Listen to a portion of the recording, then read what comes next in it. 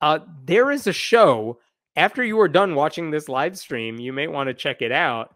Um, it is called Let Us Prey with an E, a ministry of scandals.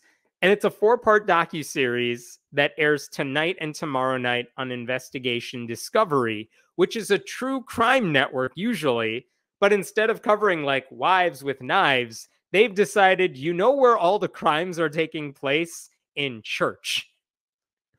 And so, you know, one of the perks of being on YouTube writing about this stuff is I got early access to the whole series. And so I watched it this week.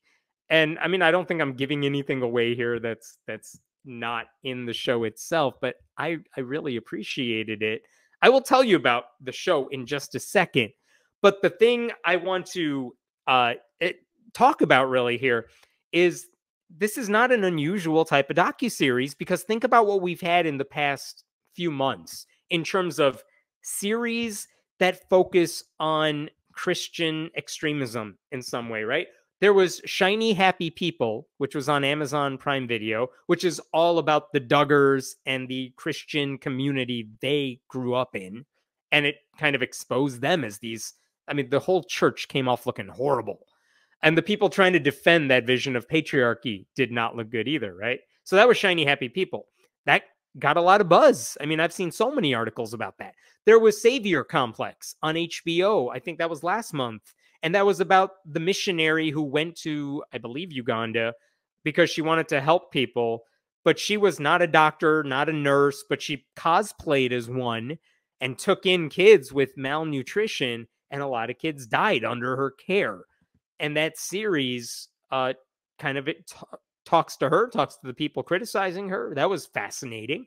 There's also right now The Mission, which is on National Geographic, about John Allen Chau, who is that Christian missionary who decided several years ago, I'm going to go to North Sentinel Island nearby India, and I'm going to try to preach to this tribe that has had no human contact ever like they're just an isolated tribe and you are forbidden by law from from coming to their island but this dude went in a boat near the island and i think the way it worked out is the the inhabitants of that island saw him assumed correctly that he's an outsider and then probably shot him.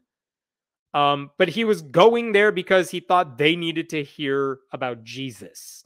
Um like just a stupid stupid decision that was written off by some Christians as well. He's a martyr for the cause.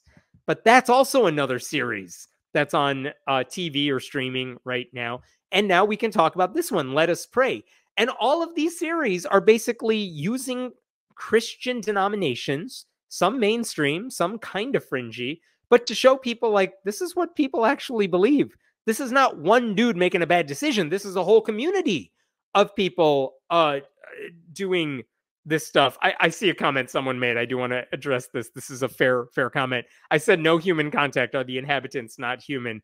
Fair point. Fair point. The people on that island that John Allen Chau went to, yeah, they're human. They're no outsider contact. Like there is, I think, law in India that says no one is allowed to go to that island because obviously, if someone like us in the US went to that island, we are bringing our diseases there they don't have natural immunity to it. They don't have vaccines or anything like that. So it would essentially our them being exposed to other people could kill them off. And so the government prevents people from uh, seeing them.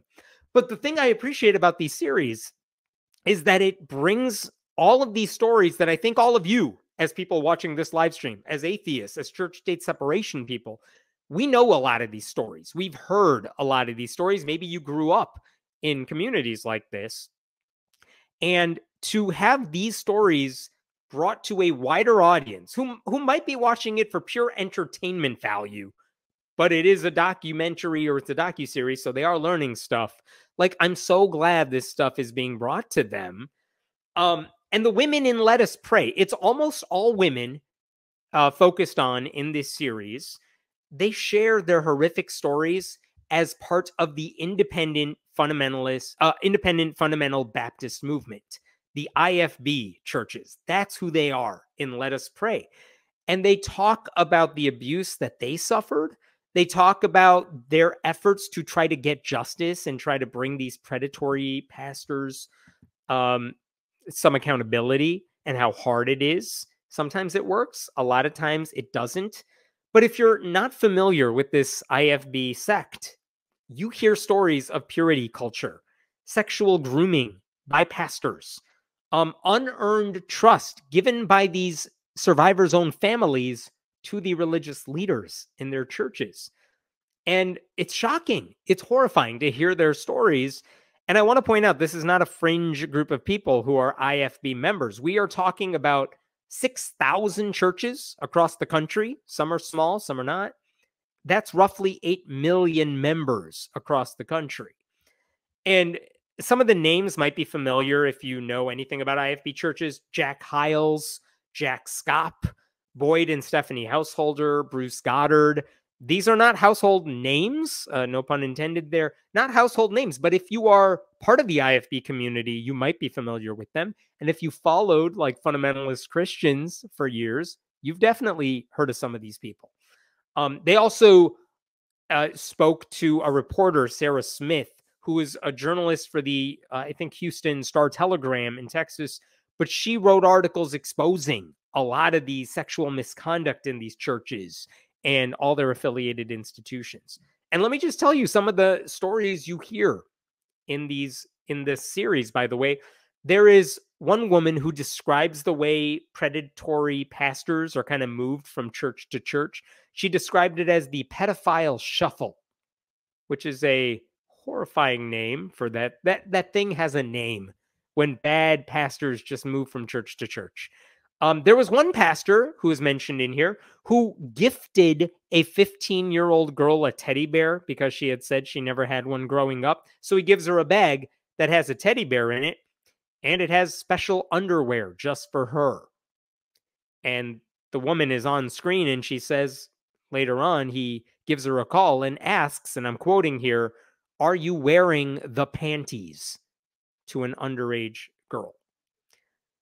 the series also speaks with Amanda Householder, who is a woman who talked about her own abusive parents and how they ran this Christian boarding school that was extremely uh, abusive. She turned her own parents in to authorities.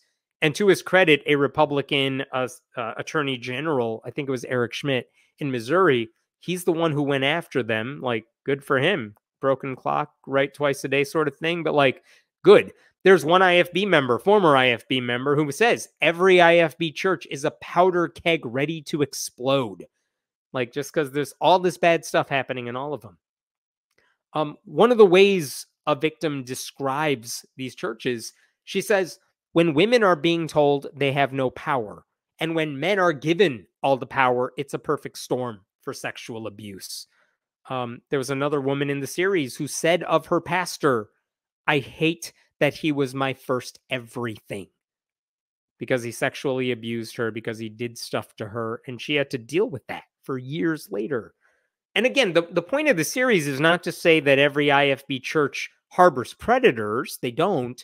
It's that the institution is so broken that predators are able to roam basically freely among these churches because they know they'll avoid accountability.